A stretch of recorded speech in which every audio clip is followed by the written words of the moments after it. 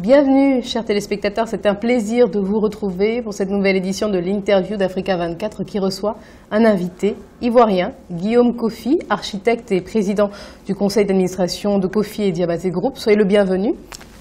Bonjour.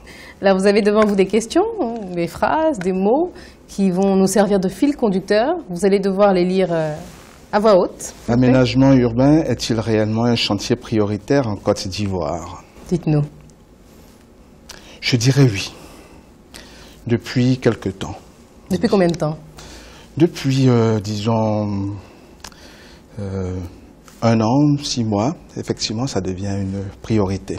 Euh, Il n'y a qu'à voir effectivement donc, tous les déguerpissements qui se font euh, sur des sites effectivement qui étaient occupés de façon illégale, qui étaient donc des sites dangereux, et le gouvernement donc a décidé effectivement de mettre fin à cette anarchie-là. Euh, il est vrai qu'il faut avoir un accompagnement par rapport à ces populations qui sont qui sont qui sont déguerpies, mais il est tout aussi important que effectivement donc l'ordre revienne donc au niveau de la ville d'Abidjan et que justement Abidjan redevienne cette ville euh, qui a fait rêver un certain nombre d'Africains il y a quelques années. Vous êtes architecte, architecte particulier. Vous prônez la modernité liée en même temps aux traditions. Euh, mais quand vous dites, euh, par exemple, je cite, hein, on ne va pas, on ne vend pas des mètres carrés, mais un concept, un mode de vie. Qu'est-ce que vous entendez par là? Mon métier de base, effectivement, donc c'est, je, je suis architecte donc de, de formation. Euh, la grande, comme la grande majorité des architectes africains et particulièrement ivoiriens, nous avons été formés donc dans des écoles à l'étranger. Moi, j'ai fait mes études en France. Euh, mon associé ici à Diabaté a fait ses études aux États-Unis. Il y a un certain nombre d'architectes qui ont fait leurs études donc dans, dans, dans divers pays occ- occidentaux. Et la, la problématique, effectivement, de nos villes fait que nous avons besoin d'être véritablement opérationnels euh, et pouvoir répondre à, à- à des spécificités euh, purement locales. Euh, euh, C'est ainsi que nous avons probable- pratiquement subi une mutation de notre métier. D'architecte, nous sommes devenus architectes développeurs et promoteurs. Euh, pourquoi? Parce qu'effectivement, le, métier de promoteur est un métier qui est euh, quasi inexistant en, Afrique euh, au niveau donc de la professionnalisation du métier. Donc il a fallu que nous, subissions cette mutation-là pour pouvoir euh, offrir effectivement une réponse entièrement intégrée à la problématique donc du- du- du- du logement. Pour pouvoir faire plus de bénéfices aussi. Euh, non, ce n'est pas, euh, Non. ce n'est pas, ce n'est, pas. Bien sûr qu'il faut, il faut, il faut gagner sa vie sans complexe, mais ce, ce- ce- ce n'est pas ce qui nous motive le, le- le plus.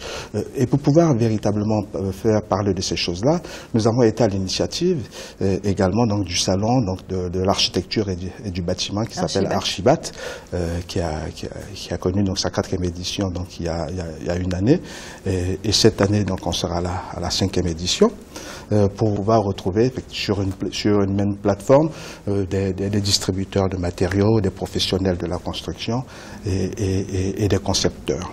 Des concepteurs. Alors, vous vendez des concepts de vie. Alors, est-ce qu'on peut vendre un concept de vie dans un pays où, par exemple, une partie de la population n'a pas accès à l'eau ou à l'électricité? Est-ce que vous trouvez que ça, ça, ça a du sens? Ça a du sens parce que euh, quand on vit dans, euh, dans, un environnement urbain, euh, on subit forcément la vie. Euh, et au lieu de la subir, il faut commencer véritablement à la maîtriser. Et pour pouvoir la maîtriser, il faut renouer avec la planification urbaine. Euh, c'est une chose euh, à laquelle s'est attelé le gouvernement actuel, puisque euh, vient d'adopter le nouveau plan directeur de la ville d'Abidjan, qui a fait l'objet de, de très grandes discussions. Et on va en reparler en fin d'émission, au- oui. au, au- au niveau de, de, de, de l'ordre des architectes. Et ce n'est pas une fatalité que, que nos villes subissent justement donc ce, ce, ce, ce- ce désordre-là. Il nous appartient à nous, professionnels, d'organiser les choses pour accompagner et apprendre donc aux populations à vivre autrement, à vivre utile euh, et, et- et- et à vivre euh, groupé et en mutualisant certains services également. Et c'est ce que nous appelons justement ces nouveaux concepts de vie. Euh, quand on parle de ces nouveaux concepts de vie, on fait également donc appel à, à la démarche donc de tout ce qui est développement durable. Euh, ce n'est pas euh, qu'une envie donc d'occidentaux, mais je pense qu'effectivement que les populations africaines elles également ont besoin donc de, de vivre à, à travers ces concepts-là. Est-ce que ces concepts-là ne sont pas un peu, entre guillemets, hein, élitistes? Est-ce que vous ne vous focalisez pas sur une certaine classe de, la population en particulier, les plus aisés Pas du tout, puisque euh, nous avons donc une action qui est concentrée sur Abidjan, mais nous avons également une action d'accompagnement de populations rurales, donc sur euh, le, le, village d'Assiné, où nous accompagnons le village d'Assigny est assez particulier. Hein c'est une station balnéaire. C'est un village en lui-même, reste un village traditionnel.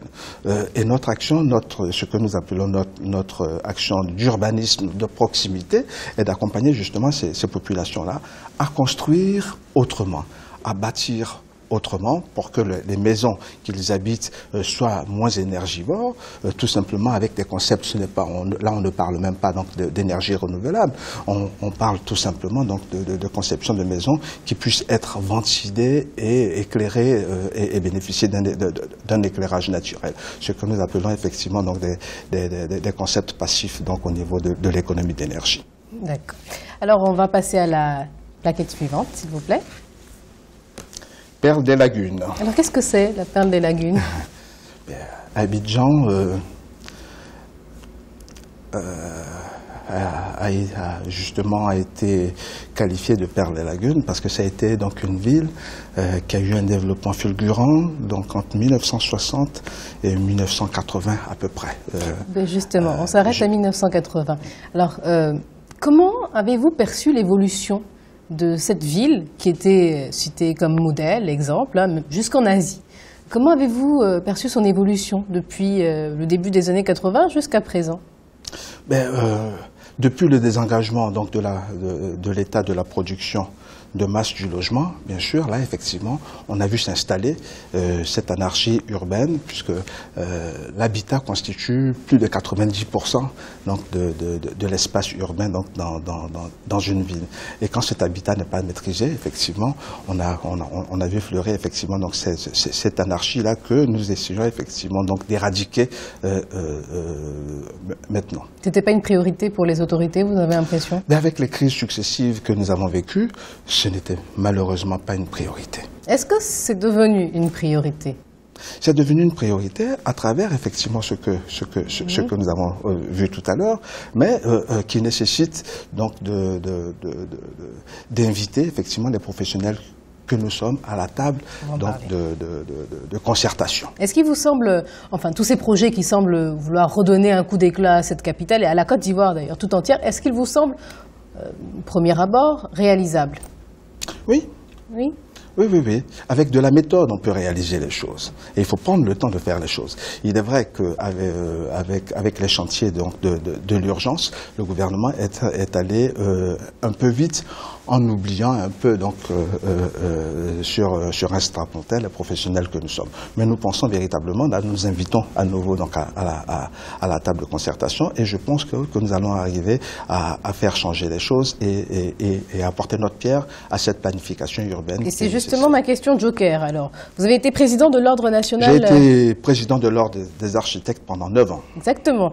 Et euh, vous êtes une référence en Côte d'Ivoire. Est-ce que vous avez été, bon là vous avez partiellement répondu à ma question.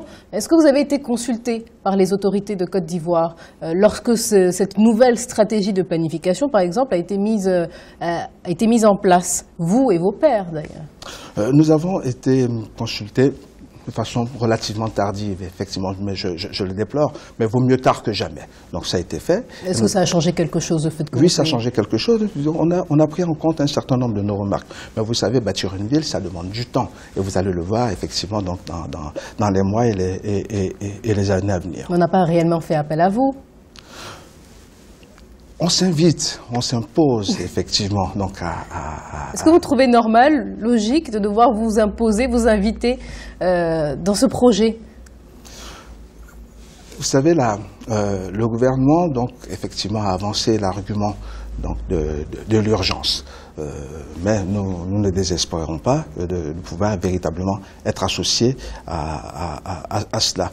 pour pouvoir répondre justement à ce, besoin d'urbanisme et d'architecture, nous, nous avons pris les devants et nous allons ouvrir, donc pour la rentrée prochaine, la première école d'architecture en Côte d'Ivoire. Pourquoi? Euh, Parce que nous sommes 200 architectes aujourd'hui pour 20 millions d'habitants. Euh, vous voyez que le, le, ratio euh, n'est pas correct. Quand vous prenez une, ville telle que Singapour, où on a à peu près 2 millions d'habitants, on a 2000 architectes. Donc il va falloir effectivement que, nous soyons beaucoup plus nombreux pour qu'on puisse véritablement sentir l'impact des architectes sur la ville. Et c'est le sens de notre action et c'est le sens de notre combat. Et c'est ce que justement nous proposons au gouvernement pour que les puisse véritablement, euh, pour que les choses puissent changer. Et vous lui proposez donc ça à ce nouveau gouvernement, à ce gouvernement qui est là depuis quelques années, et vous avez l'impression qu'il qu'il euh, vous écoute un tout petit peu, qu'il s'intéresse véritablement à ce que vous avez à dire en dehors du prétexte de l'urgence, bien sûr, bon là, on essaie de dépasser cette urgence. Oui, oui, non, je, je, je, je pense que cette, euh, euh, ce dialogue-là va, va, va, va, porter ses fruits et que nous allons y arriver. Et, et il est important également que, euh, de, par notre propre production, nous puissions donner l'exemple. C'est ce que nous sommes. Je vous parlais tout à l'heure donc de la mutation de notre métier. Et en tant que promoteur, nous croyons en l'exemple.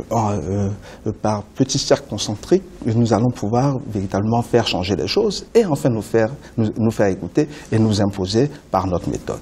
C'est ce qu'on vous souhaite. Merci à vous, Guillaume Kofi. On rappelle donc que vous êtes architecte et fondateur, président du groupe conseil d'administration de Kofi et Ndebate Group. Merci à vous, chers téléspectateurs. C'était l'interview d'Africa 24. Restez avec nous. À bientôt.